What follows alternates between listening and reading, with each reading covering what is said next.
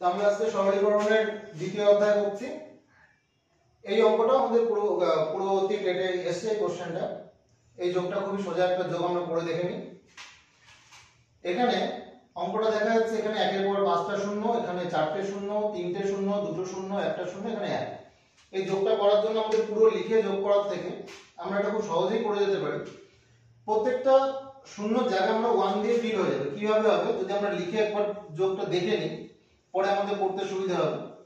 যদি আমি এইভাবে চলতে থাকি, একটা করে শূন্য কমতে থাকে, তাহলে শেষ পর্যন্ত যেটা হবে, সবচেয়ে বড় যে সংখ্যাটা, সেই সংখ্যাটা সমান সবগুলো এক বসে যাবে। এক, দুই, তিন, চার, পাঁচ, ছটা এক হবে এটা যোগফল, যদি এইভাবে চলতে থাকে। মানে এরপরে আসবে একশো, তারপর দশ, তারপর শুধু এক। প্রত্যেকটা জায়গায় এক দিয়ে ফিল হবে তো এইভাবে এটা আমরা দেখে আমরা যোগটা লিখে হবে যতগুলো শূন্য, ততগুলো এক দিয়ে আমি ফিল করে দেবো। সামনের একটা থাকল, তারপর পাঁচটা শূন্য এক, দুই, তিন, চার, পাঁচ। পরের যোগটুকুর জন্য এইটুকু হবে আমাদের দশমিকে আসবে। একের দশ মানে হলো জিরো পয়েন্ট ওয়ান। ঠিক একইভাবে আমরা তারপরে দেখছি একের একশো, তারপর একটা করে শূন্য বাড়ছে নিচে, একের এক হাজার, একের দশ হাজার, একের এক লাখ, এই হবে। তো আমাদের দশমিকের পরে এক ঘর করে পিস হবে তারপরে একটা অবশ্যই আসবে zero point zero zero one. এইভাবে সবার শেষে যেটা, এটাই সবচেয়ে বড় ফিগার আসবে। সেটা আসবে কটা? এক, দুই, তিন, চার, পাঁচটা শূন্য। তাহলে zero point zero zero zero zero one এরকম আসবে। তাহলে আমরা এক্ষেত্রে কি করব? সবচেয়ে বড় ফিগার যেটা, সেটাকে আমি পুরোটা এক দিয়ে ফিল করে দেবো। এইভাবে যদি আমি প্রত্যেকটা লিখি, তাহলে এটার যোগফলে আসবে one one one one one point এই আসবে এটা যোগফল। যদি আমি প্রত্যেকটা এইভাবে লিখি, এখন যদি দেখিয়ে দিই আমি zero zero one zero point zero zero zero one তারপর zero point zero zero zero zero one আমি এই পাশে প্রত্যেকটা লিখলাম না। এই ভগ্নাংশগুলোকে আমি দশমিকে প্রকাশ করলাম। তাহলে এটার আলটিমেটলি রেজাল্ট যেটা হবে, সামনে সবচেয়ে বড় সংখ্যাটা যেটা সেটা পুরোটা আমি এক দিয়ে ফিল করলাম। ছয় অঙ্কের সংখ্যা ছিল ছটা এক। এখানেও একইভাবে দশমিকের পরে এক, দুই, তিন, চার, পাঁচটা। এখানে এটাতে একটাই পার্থক্য যেটা, এখানে পুরো সংখ্যাটা সমান সংখ্যা আমাদের এক লিখেছে, কিন্তু এখানে পুরো সংখ্যা সমান সংখ্যা এক হবে না। যতগুলো শূন্য, ঠিক ততগুলো এক হবে। সামনে ছটা এক পয়েন্টের পরে হবে পাঁচটা। এক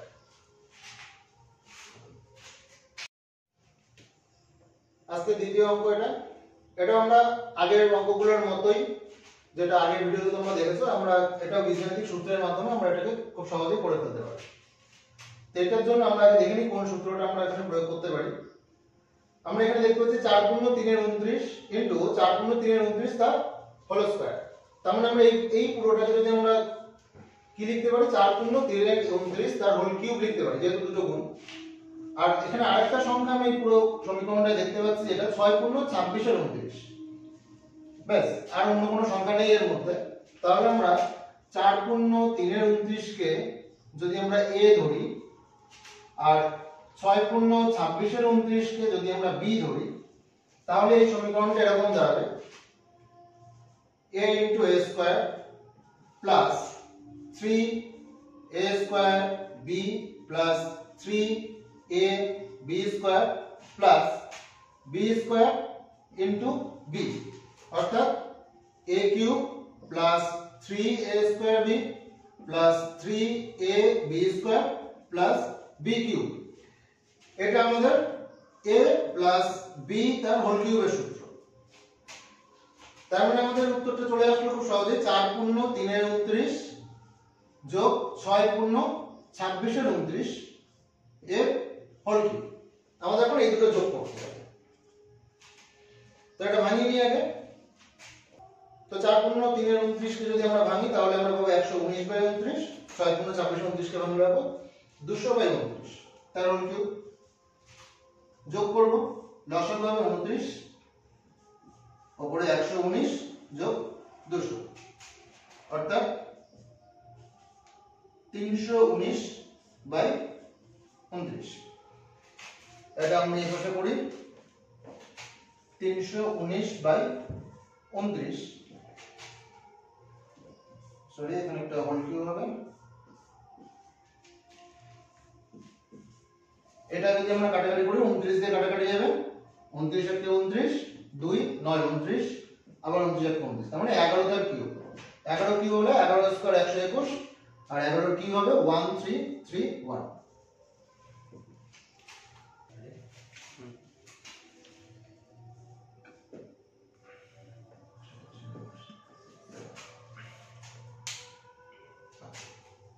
এই অঙ্কটাতে, অঙ্কটা দেখে কারও কারও অনেক খুব সোজা মনে হতে পারে।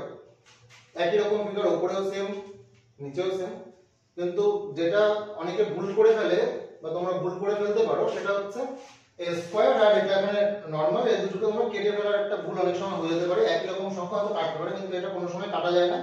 তার কারণ উপরের এই সংখ্যাটা প্রত্যেকটা প্লাস আর নিচের সংখ্যাটাও এদের মধ্যে যোগ সম্পর্ক। যতক্ষণ না গুণ সম্পর্কের মধ্যে থাকে, ততক্ষণ কাটা যায় না, এটা কাটা সম্ভব না। তো সেজন্য আমাদের একটা যোগের মাধ্যমে এটা করতে হবে। এবং আমরা এখানে ধরে নেব, আমাদের এখানে zero point one zero point two zero point three তিনটে আলাদা ডিজিট আর একটা সংখ্যা আমরা পাবো যেটা thirty seven by twenty five এই চারটে সংখ্যা দিয়ে পুরো অঙ্কটা। তো এগুলোকে আমরা ধরে নিই। আমরা এখানে জিরো পয়েন্ট ওয়ান কে ধরছি এ জিরো পয়েন্ট টু কে ধরছি বি জিরো পয়েন্ট থ্রি কে ধরছি c R thirty seven by twenty five এটাকে আমরা এক্স ধরে নিচ্ছি। আমাদের ধরে নেওয়াটা পুরোটাই যাতে আমাদের ক্যালকুলেশনটা খুব সহজে করতে পারি আমরা অনেকটা জায়গা লেগে লেগে যাবে এই যোগ বিয়োগগুলো করার জন্য। তো দেখি আমরা বীজগণিতের মাধ্যমে এটা করি। আমরা এবিসি এক্স ধরে নেওয়ার পর সমীকরণটা দাঁড়াবে। A square by x minus a plus b square by x minus b plus c square by x minus c plus a plus b plus c by a by x minus a plus b by x minus b plus c by x minus c. এবার আমরা কি করতে পারি? এই যোগটাকে আমাদের নিজেদেরকে ভেবে এটাকে খুব ছোট করার চেষ্টা করতে হবে। আমরা ওপর নিচে কোনোভাবে কাটতেও পারব না। কিন্তু যদি আমি এটাকে এই পোর্শনটার সাথে যদি আমি যোগ করি এটাকে আমি এখান থেকে নিয়ে এর সাথে যোগ করব বিটাকে আমি বি এর সাথে যোগ করব, আর সি এর সাথে এই সিটাকে যদি যোগ করি, তাহলে আমার এটা অনেকটা ছোট হয়ে যাবে। কীভাবে করব? a square by x minus a plus a plus b square by x minus b plus b plus c square by x minus c plus c নিচে যেটা ছিল সেটাই থাকছে b by x minus b plus c by x minus c এই যোগটা কীভাবে হবে? লসাগু হবে x মাইনাস a উপরে থাকছে a স্কয়ার প্লাস এর নিচে যেহেতু কিছু নেই 1 1 ধরে নিতে পারি, সেই 1 দিয়ে আমাদের এই x মাইনাস এটা গুণ হবে। সরি a এর সাথে x মাইনাস এটা গুণ হবে। a into x minus a তো এটা যদি আমরা একটু একবারে লিখে নিই এটা, নাহলে আমাদের আরও অনেকটা বেশি লাইন লাগবে এখানে। তাহলে আমরা এটা করে নিতে পারি কি? a square plus ax minus a square তারপরে আমরা কি দেখতে পাবো? A স্কয়ার a স্কয়ার কেটে যাবে। যদি আমরা এটা করে নিই এইভাবে ax মাইনাস এ স্কোয়ার তাহলে অঙ্কটা আমাদের যেটা দাঁড়াবে, এই plus a square minus a square কেটে গিয়ে ax by x minus a, যেটা অনেকটা নিচের সাথে একই রকম আসবে। প্রতিটা পার্ট আমরা এইভাবে যদি করে নিই, তাহলে এখানে আসবে x minus b b square plus bx minus b square যদি আমি এই অংশটাকে যোগ করি। যদি এই অংশটা করি, এখানেও লসাগু হবে x minus c c square plus c এর সাথে x মাইনাস সি গুণ হবে, cx মাইনাস c স্কোয়ার এক্ষেত্রে আমাদের a স্কোয়ার a স্কয়ার কাটবে, b স্কোয়ার বি স্কোয়ার কাটবে সরি এটা b স্কয়ার হবে, এখানে c স্কোয়ার সি স্কোয়ার কাটবে। এর করে শুধু পড়ে থাকবে এটুকু, আর নিচে যেটা ছিল সেটাই থাকছে। a by x minus a plus b by x minus b plus c by x minus c. উপরের অংশটা থেকে ax by x ax by x minus a, তারপরে থাকছে bx by x minus b, cx by x minus c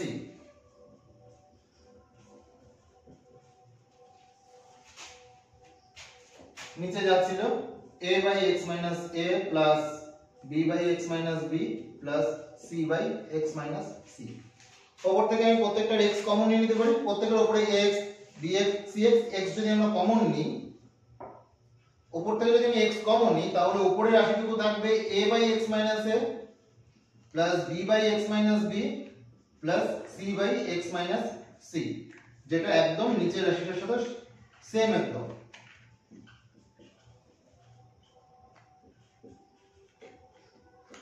এবার কি হলো? এবার আমি উপর নিচে কাটতে পারব, তার কারণ x এর সাথে এই পুরো রাশিটা গুণ সম্পর্ক, সেই জন্য নিচের এই পুরো রাশিটার সাথে উপরের আমরা রাশিটা কেটে দেব। তাহলে শুধু আমাদের যেটা উত্তর থাকছে সেটা x x অর্থাৎ 37 বাই 25 আমরা যেটা ধরে নিয়েছিলাম, সেটাই আমাদের উত্তর।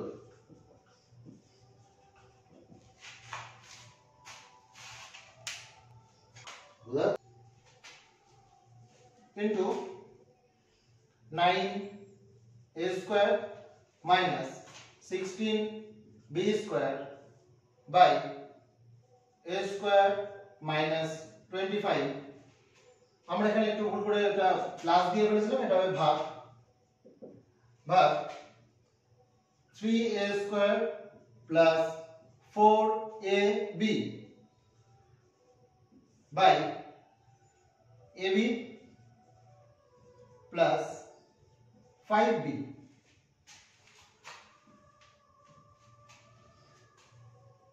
আমরা এটাকে a স্কয়ার মাইনাস 5 এ রেখে দিই, বা এটাকে আমি a কমন নিতে পারি এখান থেকে।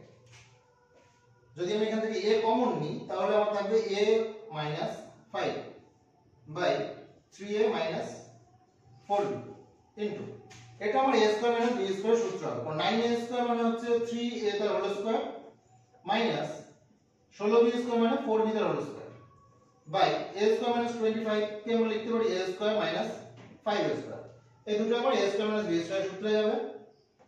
আমরা ভাগটাকে যদি গুণ হিসাবে লিখি, তাহলে উঠে যাবে ab plus 5b by 3a square plus 4ab a into a minus 5 by 3a minus 4b into এখানে হবে আমাদের a স্কয়ার b স্কয়ার সূত্র a plus b into a minus b a square minus b square সূত্র হচ্ছে a plus b into a minus b তো 3a plus 4b into 3a minus 4b by একইভাবে এখানে হবে a plus five into a minus five into ওপর থেকে আমি b common নেব, তাহলে হবে a প্লাস ফাইভ নিচের থেকে আমার কমন যাবে a তাহলে থাকবে 3a প্লাস 4b এবার এখানে প্রত্যেকের সাথে প্রত্যেকের গুণ সম্পর্ক, সেজন্য আমরা ওপর নিচে বা কোনাকুনি এগুলো কাটতে পারব। তো এই 3a 4b এর সঙ্গে কাটা যাবে এই 3a 4b এই 3a 4b এর সঙ্গে কাটা যাবে। এই 3a 4b a 5 এর সঙ্গে কাটা যাবে a 5 a 5 এর সঙ্গে কাটা যাবে এই a 5 a a তাহলে আমাদের পড়ে থাকবে শুধু b b অর্থাৎ 0.09 099 এটাই আমাদের আনসার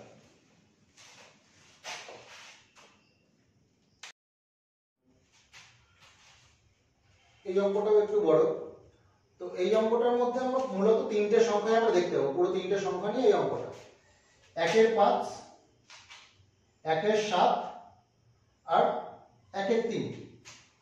পুরো অঙ্কটা এই তিনটে সংখ্যা দিয়ে। তো আমরা এইগুলোকেই ধরে নিই। একের পাঁচ, এটাকে আমরা এ ধরি। একের সাত আমরা বি ধরি। এবং একের তিনকে সি ধরি। তাহলে আমাদের ইকুয়েশনটা এবার দাঁড়াবে a square plus ab plus b square নিচে দাঁড়াচ্ছে একের তিন মাইনাস একের পাঁচ মানে c মাইনাস a ইন্টু একের সাত মাইনাস একের তিন মানে b minus c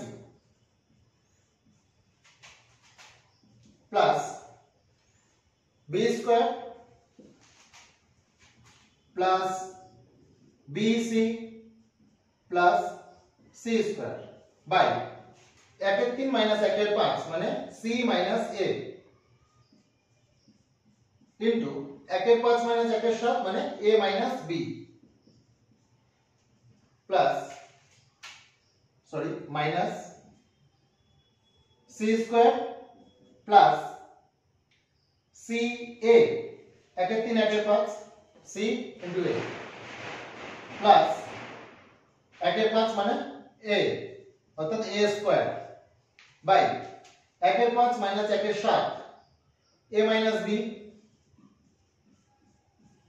একের তিন মাইনাস একের সাত মানে সি মাইনাস বি এবার যদি আমাদের লসও করতে হয়, তাহলে আমাদের একই সংখ্যা আমরা নিচে রিপিট পাবো সি মাইনাস এ এখানেও c minus a b minus c এখানে সি মাইনাস বি একটু সাইন চেঞ্জ করতে হবে। তার মানে আমরা যদি এখান থেকে একটা মাইনাস কমন নিই, তাহলে এটা বি মাইনাস সি হবে আর এই মাইনাসটা আমাদের প্লাস হবে। আর একটা বি মাইনাস সি গেল আর একটা হচ্ছে সি মাইনাস এ দু জায়গায় কমন এ মাইনাস বি এই দু জায়গায় কমন তাহলে আমাদের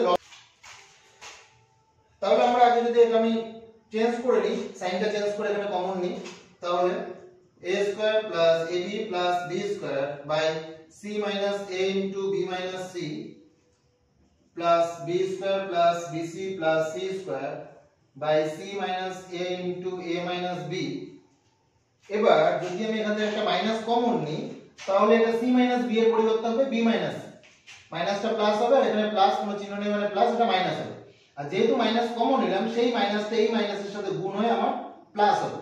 মাইনাস মাইনাসে plus c square plus c a plus a square by a minus b into b minus c হয়ে গেল এটা। বি এর চিহ্ন মাইনাস ছিল মাইনাস কমন নেওয়ার জন্য বি এর চিহ্ন হলো প্লাস সি এর চিহ্ন প্লাস ছিল মাইনাস কমন নেওয়ার জন্য এটা হয়ে গেল মাইনাস এবার আমরা এটা লসও করব। আমরা একই সংখ্যা দেখতে পাচ্ছি c minus a c minus a b minus c b minus c a minus b a minus b তাহলে আমাদের লসাগু আসবে c minus a into b minus c into a minus b ছটার থেকে তিনটে আসবে। এবার যদি লসাগু করি c minus a b minus c common তাহলে uncommon part a minus b এটার সাথে উপরটা গুণ হবে। A minus b into a square plus a b plus b square একইভাবে এখানে হবে b minus c into b square plus b c plus c square plus এখানে থাকবে এ মাইনাস বি আর বি মাইনাস সি এই দুটো কমন তাহলে এটা কেটে যাবে c minus a c minus a into c square plus c a plus a square a minus b into a square plus a b plus b square এটা হলো আমাদের একটা সূত্র, যেটা a কিউব মাইনাস বি কিউবের সূত্র। A minus b into a square minus a b plus b square ঠিক আছে একইভাবে এগুলো আমাদের সূত্র হবে b cube minus c cube plus b cube minus c cube plus c cube minus a cube by নিচে থাকছে c minus a into b minus c into a minus b উপরে আমাদের এবার সবগুলো কেটে যাবে। Plus a cube minus a cube minus b cube plus b cube minus C cube plus C cube সবগুলো কেটে গেলে আমাদের উপরে থাকছে জিরো তাহলে আমাদের পুরো অ্যান্সারটা আসবে জিরো